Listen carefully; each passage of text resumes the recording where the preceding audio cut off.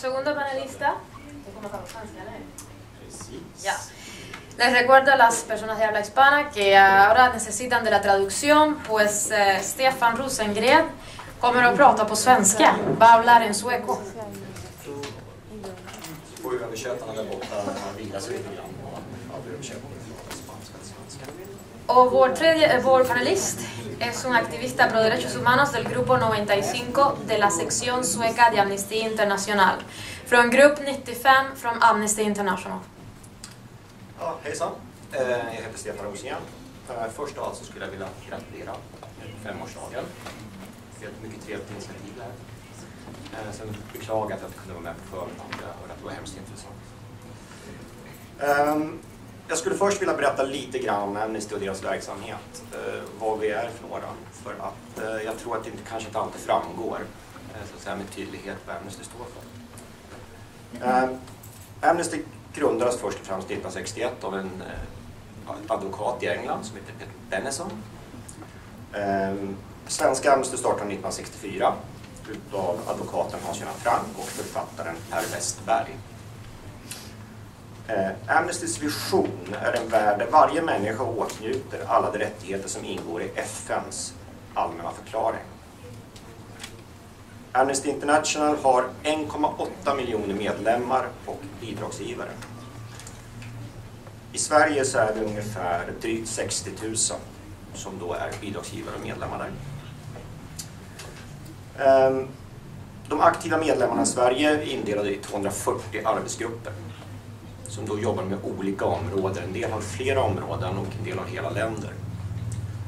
Och jag ingår då i en grupp som eh, har några utav de fångar som eh, vart fängslade under eh, svart, eh, svarta våren ehm, 2003. Och 1977 fick Amnesty Nobels fredspris och vi finns i 150 länder Jag poängtera också att Amnesty inte tar emot några statsbidrag utan bara finansieras via gåvor och från enskilda personer och eh, medlemsbidrag och sånt. Eh, vi bildades alltså 2003, grupp 95. Eh, det var efter då fängslat av de här 75 oppositionella på Kuba.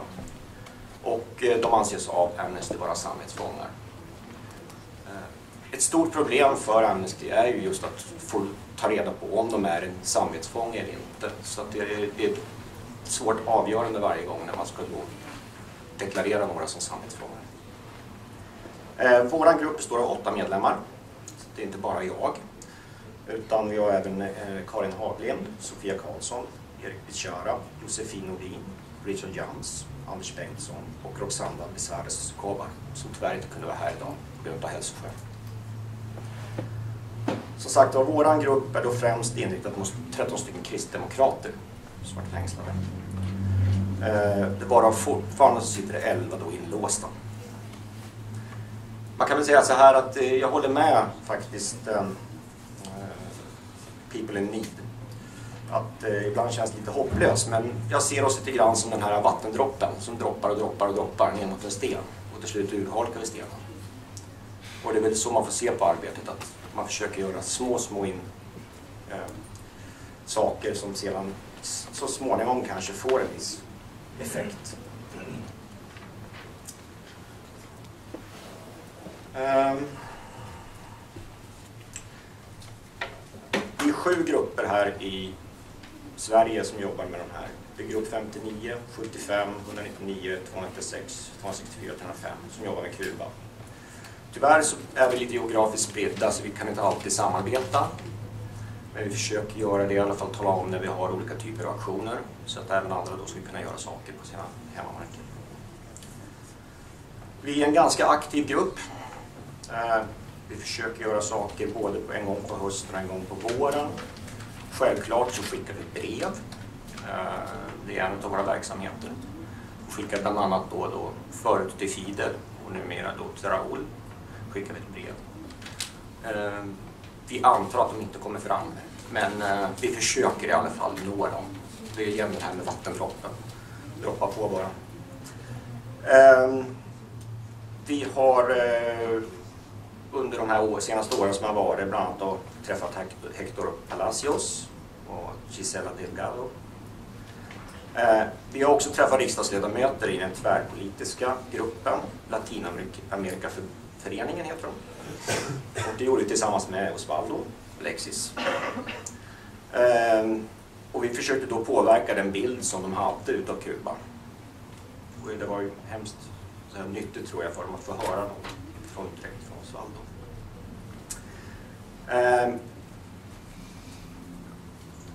vi är också hemskt nöjda inom gruppen att Lars Ohly äntligen har kritiserat regimen och eh, tagit ställning då emot de här samvetsfångarna som finns.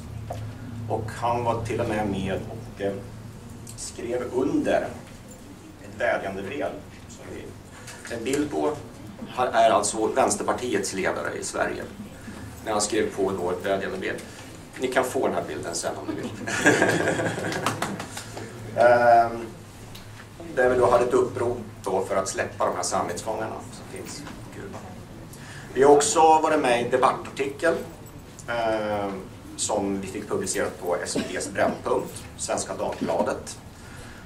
Eh, där vi hade en mediedebatt med Eva Björklund angående förhållandet för fångar etc. på Kuba. Eh, vi var också med och ordnade så att Kuba blev eh, månadens aktion på Amnestys webbsida under mars och den 14 mars i år så hade vi en manifestation som vi kallade för Hotell Kuba. Och jag måste säga att People in Need eh, var väl förebilden då på just den grejen. Vi hade också byggt en bur. Det skulle nog ha ringt er och frågat hur man gjorde. Eh, men ändå. och då gjorde vi så att vi eh, samarbetade då med bland annat med Skillarnas till Kuba, men även med politiker. Eh, och vi lät politikerna sitta i buren och eh, få känna lite grann hur det kändes. Eh, nu hade vi hemskt kallt den dagen och blåsigt och så vidare. Jag antar att det är precis om, om, omvända förhållanden nere i Kuba. Men eh, vi fick i alla fall en viss uppmärksamhet för det. Och sedan så lämnade vi över då också då en lista, en vädjande lista till kubanska ambassaden. Eh, nästa sak vi ska göra är den 26 september faktiskt, eh, näst, nästa eh, helg. Och då ska vi göra en manifestation för damerna i vitt. hade vi tänkt oss. Och jag, kommer, jag har en inbjudan här som ni kan titta på sen eh, om ni vill delta. Ehm, ja, som jag sa så har vi fortfarande 11 stycken som fortfarande sitter i fängelse. Ehm, jag skulle vilja att vi alla har en tyst minut från 55 fångar som fortfarande sitter.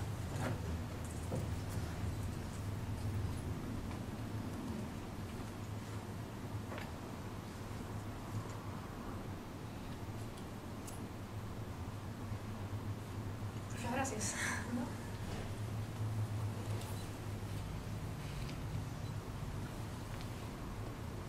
Tack så mycket.